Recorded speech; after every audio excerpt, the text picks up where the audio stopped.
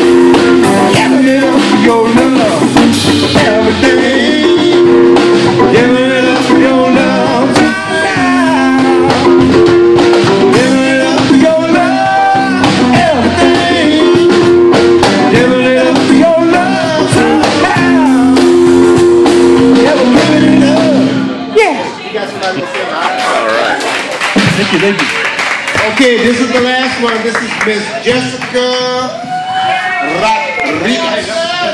Did I get it right?